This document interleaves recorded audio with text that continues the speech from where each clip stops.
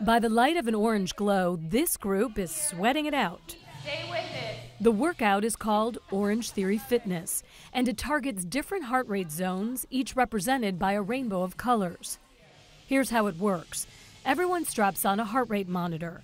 As they exercise, their numbers are displayed on the overhead screens. Colors change when they reach a certain zone. Most work is done in the moderate zone. Maintain for 20 to 30 minutes. It's challenging, but doable. Next, they take it up a notch. Push pace is where you move into that orange zone. We spike the metabolism, and you really start to condition your heart. The trainers say if you reach the orange zone and stay there for a certain amount of time, your body will burn more calories, even after your workout.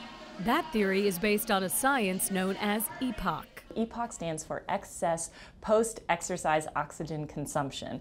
And that's really the reason why we breathe faster after we have a period of strenuous activity. For several hours afterwards, you continue to have a really high metabolism. And that's what turns into losing weight. And with the monitors, the trainers are able to make sure everyone's where they need to be. Okay, watch those numbers come up. Heart rate starts to increase here.